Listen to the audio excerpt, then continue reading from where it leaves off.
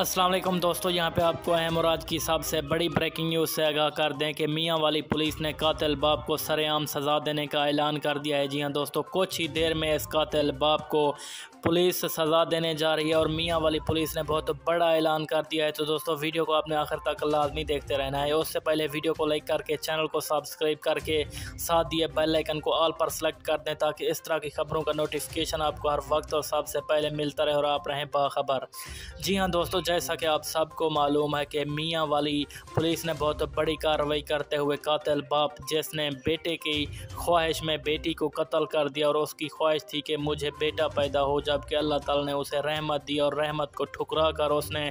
पाँच गोलियाँ मारकर उसको शहीद कर दिया था। तो दोस्तों, मियाँ वाली पुलिस ने अब ऐलान किया है कि इस कातिल बाप को इबरतनाक सज़ा देंगे और इसके साथ सरेआम सज़ा देंगे, जो कि सदियों याद रखी जाएगी और कोई ऐसा कदम ना उठाएगा।